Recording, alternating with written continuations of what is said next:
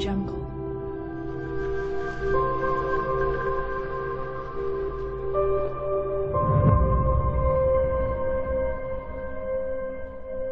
Audio Jungle. 人民日报海外版台北四月十九日电，四月十八日，大陆在台湾海峡一侧，也就是福建泉州外海举行实弹射击。有台媒观察说，这是近年大陆在台海最高调的一次军演，摆明了是剑指台独。台当局行政院长赖清德连日大放厥词，声称自己是务实台独工作者。中台办、国台办主任刘杰一以他就是个台独来回应，并明确表示，举行军演就是为了捍卫祖国主权和领土完整。十八日军演引发两岸高度关注，外界注意到。大陆空军近日连续组织多型多架战机绕岛巡航，并且还将继续组织战机绕岛巡航，检验实战能力。舆论认为，这是大陆对赖清德台独言论以及岛内台独分裂活动进一步发出警告，针对性十足。记者十八日在台北打开电视机，发现岛内对军演相当关注，有媒体派出记者到军演外围现场直击，详细介绍演习细节。并点名演习就是警告台独。这两天恰逢台当局领导人蔡英文出访，当局有关部门表面上一副成竹在胸的样子，用例行性军演来安抚民众。至于赖清德，却开始神隐不言。例行性还是针对性，要看具体情境。对照二零一五年九月那次台海军演，相近的地点，同样的军备与同样的操演形式。两次实弹射击却有截然不同的反应。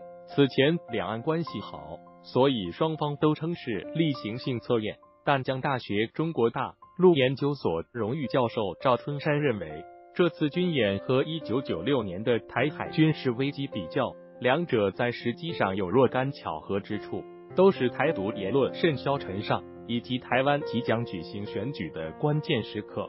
可以说。赖清德是唯一敢放胆在立法院被询、自称是台独工作者的政治人物，也成为继李登辉、陈水扁之后的新一代独派教主。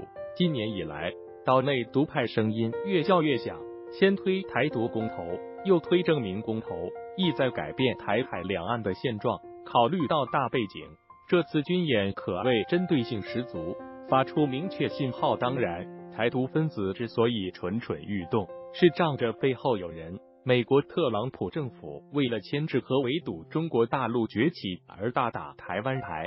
解放军此次台海军演也是警告域外势力，不要向台独势力发出错误讯息，否则必会引火烧身。美国智库兰德公司国际防御资深研究员西斯分析，从军事角度讲，解放军是在展示其随时可以进行大规模联合军事行动的能力。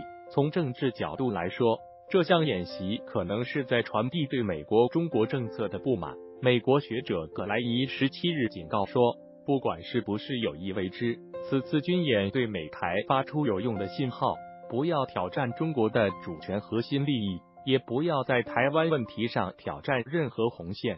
赵春山认为，台当局也不要过高估计美国的支持。见往可以知今，一九九六年的台海危机并未使台湾获取重大利益。美国克林顿政府不但在一九九七年与大陆建立了建设性的战略伙伴关系，并且在克林顿于一九九八年访问大陆时，提出了对台湾极为不利的新三不政策，即不支持两个中国或一中一台，不支持台湾独立，以及认为台湾不应加入任何必须以国家名义。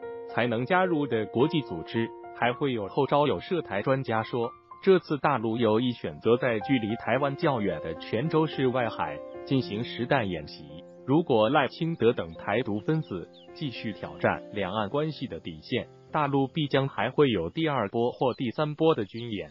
台湾中华战略学会研究员张静表示，虽然目前各界都聚焦在四十八军演，但这场实弹军演只是小菜。台湾方面要小心的是，大陆军舰日后可能仿效美军的航行自由，随时随地现身台湾家门口，就战机绕岛巡航。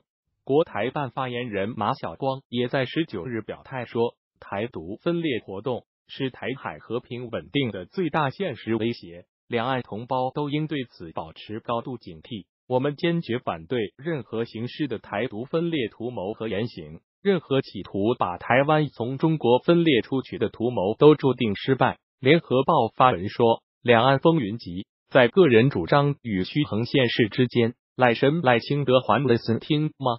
毕竟，一个诚实而坚定的台独工作者，以一己之私把台湾带向倾斜而危险的境地，岛内清醒的民众自然会提醒他。莫做一个鲁莽而不负责的行政部门负责人。修理工具多的是台湾。中国时报刊文认为，岛内一直朝向军事面解读，让民众忽略大陆借四十八军演所传达的政治面信息，这才是真正的警讯。澳门理工学院名誉教授邵宗海表示，看军演要看它背后的政治意义，从国台办的表态就可以看得很清楚。除了军事上，经济、文化。国际空间等大陆涉台工具箱里，有的是修理台独的工具。台湾国政研究基金会高级助理研究员谢志传认为，军事演习只是一个开端，台国际空间与邦交国也可能受到影响。第七十一届世界卫生大会五月二十一日